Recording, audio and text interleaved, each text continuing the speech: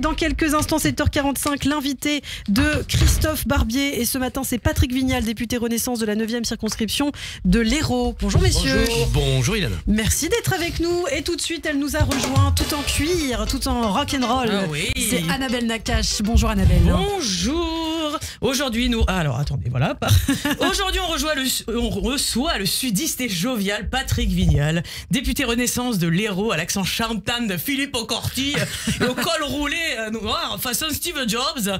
Alors, il est sympathique, tout ça, mais si je peux vous donner un conseil, Patrick, faut pas le chauffer, hein, parce que ça se voit pas comme ça, mais il a un point commun avec Teddy Riner. C'est sa ceinture noire de judo. Ah ouais. et, et moi aussi, je peux me la péter, j'en ai plein des ceintures noires, hein, de Zara, Pimki, Promode, hein, tout ça. Bon, avant d'être député, Patrick Bri- Vignal est prof de judo, ceinture noire quatrième dan, brevet d'état de natation et préparateur physique. Bah, je sais pas si vous y avez déjà pensé, mais vous êtes le candidat idéal pour Colanta. Hein. Quoi- Quoique, l'Assemblée nationale, c'est encore plus hostile comme jeu. Hein. Euh, savoir se battre, tenir le coup, établir des stratégies pour éliminer la concurrence, bah, c'est les compétences requises dans la fiche de poste. Elisabeth Borne. Les aventuriers de la tribu réunifiée ont décidé de vous éliminer et leur sentence est irrévocable. Allez, salut Babette, remaniement, ciao Alors Patrick, vous êtes de Montpellier depuis trois générations. Montpellier, ville qui a réalisé le fantasme de tous les Parisiens. Non, je ne parle pas de virer Anne Hidalgo à coups de pirogue tahitienne, mais je parle des transports en commun gratuits. Les transports en commun gratuits, alors qu'à Paris, le pass Navigo est à 86,40€. Ouais. Vous imaginez la qualité de vie des Montpelliérains Entre le prix de l'immobilier 4 fois moins cher et les transports gratuits, c'est les rois du pétrole. hein. C'est les nouveaux Qataris par rapport aux gens qui habitent en Ile-de-France. Moi, quand je suis en tournée, bah, j'adore m'arrêter devant les agences immobilières hein, pour me faire un masque hydratant au visage. Parce que quand je regarde le prix d'immobilier en Provence, je pleure, hein, tellement c'est moins cher qu'ici. Alors, Anne Hidalgo, qui veut faire passer le périph' à 50 km/h, bientôt tirera plus vite à pied qu'en voiture. C'est à se demander si bientôt faudra pas payer un passe piéton juste pour marcher dans Paris. Et puis, euh, bah, faut bien rembourser son voyage Paris-Bora Bora. hein. En plus, le billet a coûté cher. Anne avait un excédent de bagages. Elle a ramené avec elle ses amis ratatouille et les rats parisiens dans ses valises.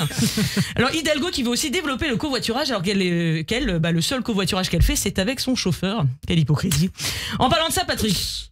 Vous êtes connu pour votre gouaille. Et il y a une phrase que vous répétez souvent et que j'aime beaucoup. Le vrai débat, c'est quoi? C'est qu'on a une classe politique, une partie qui sont des faux culs. Ah, voilà, je le dis et je l'assume.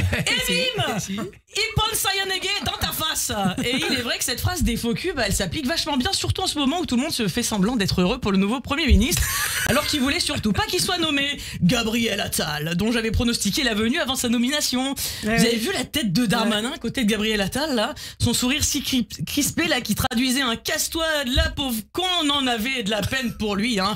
Mais c'est ainsi, la tornade Gabriel a tout emporté sur son passage. Après Fatal Bazooka, on a Attal Bazooka. Ouais, gros. C'est Atal Bazooka. Quand c'est la crise, quand t'es dans la mouise, que quelque chose à faire, laisse-moi gérer le bis Représente la France et les autres ta mère en direct de Matignon. Ne prends pas la tête, sinon moi je te mets un nion.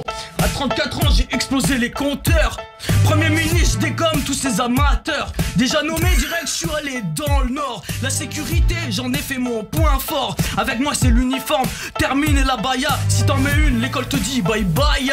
Laisse-moi te séduire, je suis un bébé surdoué je suis à ma boule, ouais, je suis à ma boule, ouais. À 34 ans, on m'a nommé, toi t'as les boules. Je suis à ma boule, ouais, je suis à ma boule, ouais. J'ai les dents qui rayent le parquet comme un pitbull. Je suis à ma boule, je suis à ma boule. Je flippe sa mère, mais je, je fais genre, je me la joue cool. Je suis à ma boule, ouais, je suis à ma boule. Pourvu que ça roule, pourvu que ça roule. Et oui, en 2024, pourvu que ça roule. Justement, Bravo. de mon côté. Belle performance. L'année commence bien de mon côté. Hier, je reçois un joli courrier avec écrit sur l'enveloppe République française. Je me dis, ça y est, j'ai mon invitation pour l'investiture du prochain ministre de la Culture.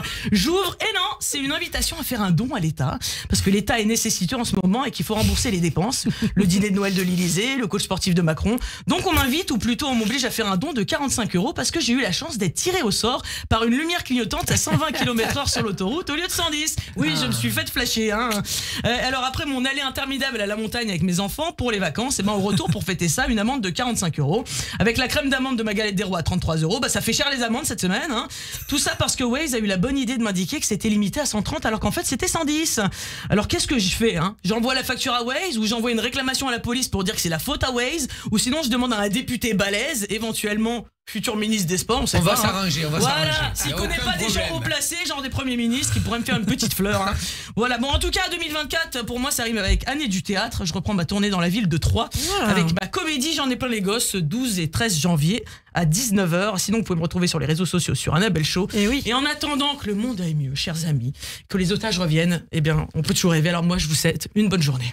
Eh bien, merci beaucoup, Annabelle Annabelle Nakache. Bazooka. C'est ça. Annabelle, si vous aviez été plus gentil avec Gérald, on serait arrangé. Ça vous Ah apprendra. mince, bah oui, c'est vrai. Je l'aime bien, Gérald.